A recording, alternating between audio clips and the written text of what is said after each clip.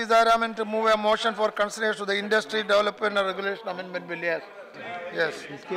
So I wish to move that the bill f- further to amend the In- Industries Development and Regulation Act of 1951 as passed by the Lok Sabha be taken into consideration.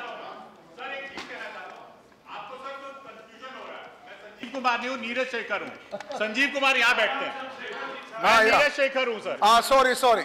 Sorry, sorry sorry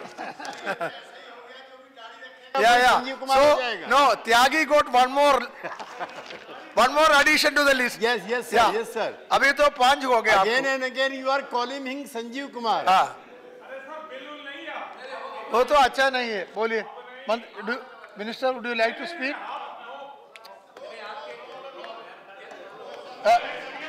सभी लोग सभी से सहमति बनी हुई है आपकी leader से बात हुई क्या कर मूव कर दिया। आप मूव करें, ऑलरेडी मूव ओके ओके